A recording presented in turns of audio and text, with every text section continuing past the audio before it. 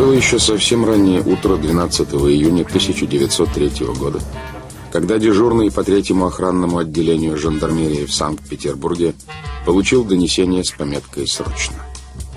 В нем сообщалось о гибели в столице прошлой ночью некоего профессора-химика Михаила Михайловича Филиппова при достаточно странных обстоятельствах.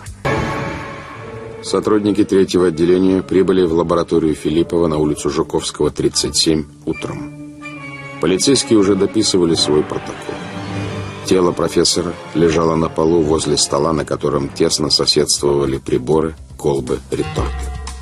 Супруга Филиппова показала, что накануне он предупредил семью, что будет работать ночью в своей лаборатории, а потому он просил разбудить его уже после полудня. Врач смог лишь констатировать, что смерть наступила от внезапной остановки сердца. Во время февральской революции 17 года в здании охранного отделения произошел сильнейший пожар, уничтоживший все секретные документы и множество агентурных дел.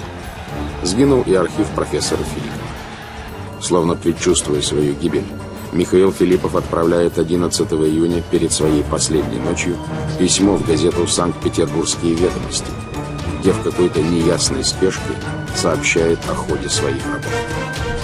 На днях мною сделано открытие, практическая разработка которого фактически упразднит войну.